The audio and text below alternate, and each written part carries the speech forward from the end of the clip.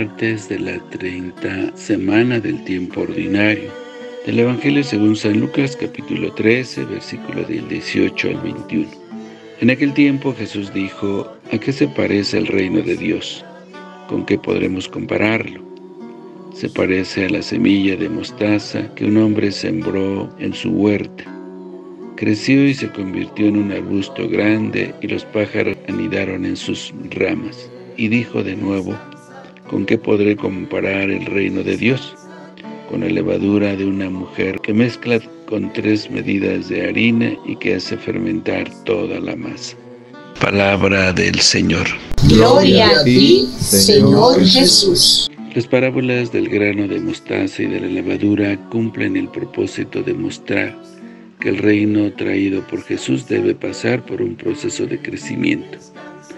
Estas dos parábolas no tienen un sentido y clave de explicación en el resultado final, sino en el medio o procedimiento con el que se podrá alcanzar ese feliz final. Ahora bien, el procedimiento mediante el cual el reino de Dios puede crecer y así transformar la masa entera de este mundo no es visible, sino es invisible no es lo que brilla y luce, sino lo que se oculta y desaparece, porque la pequeñez del grano de mostaza tiene que ser sembrada y sepultada debajo de la tierra, de la misma manera que la levadura tiene que perderse en la masa y fundirse con ella. Solamente desapareciendo es como el grano de mostaza y la levadura transforma, dan vida, crecen y maduran los afanes de subir, ser notorio, etc. No hace bien a nadie, sino que a, lo más que se llega es a engañar o sencillamente teatralizar la vida, la religión y la fe. Jesús no elogia aquí la humildad, la pequeñez o la sencillez. Lo que Jesús afirma y exige es la laicidad, porque reconoce y enseña que cuando el grano de mostaza se funde con la tierra, y cuando la lavadura se funda con la masa, entonces es cuando produce su efecto.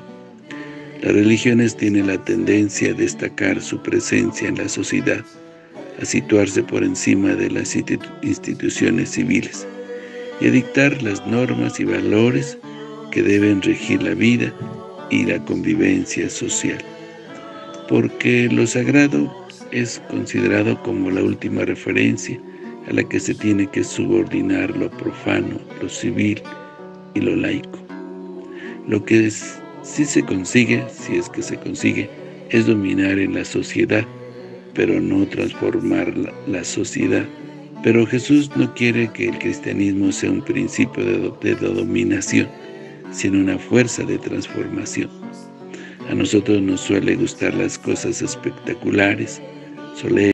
Este video ha llegado a ustedes gracias a Campusano Móvil, donde ofrecemos los servicios de desbloqueo, activación y reparación. Te activamos y reparamos el software de tu celular, tablet o computadora. Además, vendemos todo tipo de accesorios y recarga de todas las compañías. Vendemos tablets, celulares y computadoras. Estamos ubicados en la calle Sánchez número 10 en el ensanche Altagracia de Herrera. Teléfono 809-530-7327. Con su administrador, Maicor Campuzano.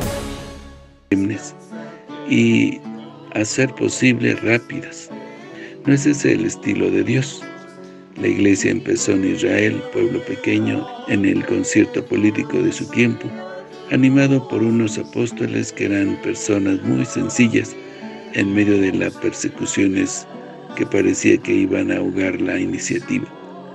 Pero como el grano de mostaza y, y como la pequeña porción de la levadura la fe cristiana fue transformando a todo el mundo conocido y creció hasta ser un árbol en la que anidan generaciones y generaciones de creyentes. Así crecen las iniciativas de Dios. Esa es la fuerza expansiva que posee su palabra. Este pasaje nos llena de esperanza, pues el reino de Dios se construye de manera oculta. A veces nos podríamos dar la impresión de que nada ha cambiado en nuestra vida o en nuestros ambientes, que todo nuestro trabajo apostólico y nuestro esfuerzo por instaurar el reino de Dios ha sido en vano.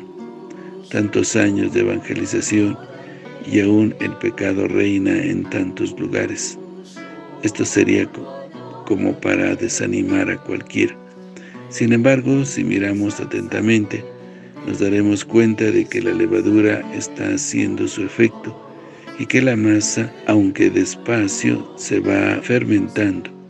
Lo importante para que se fermente la masa es que tenga levadura.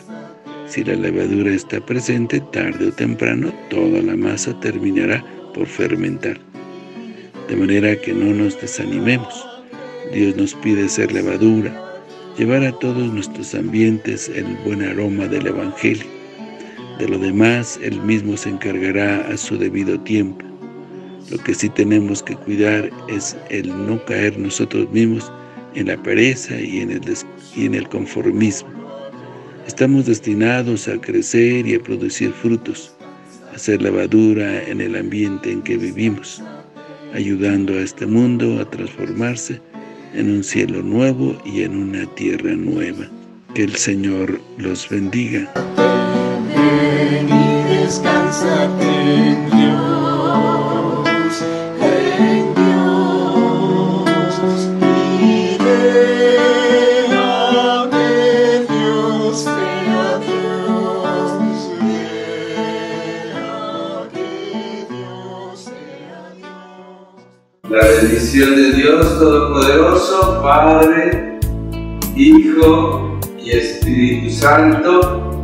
descienda sobre ustedes, que los acompañe siempre. Que el Señor los bendiga. Si te gustó este video y deseas seguir recibiendo el Evangelio, misa en vivo, oraciones y muchas reflexiones más, Ayúdanos a seguir creciendo. Suscríbete a este canal de YouTube. Activa la campana de notificaciones. Deja tu comentario. Dale me gusta. Y compártelo con todos tus seres queridos. Que el Señor te bendiga a ti y a toda tu familia. Bendiciones.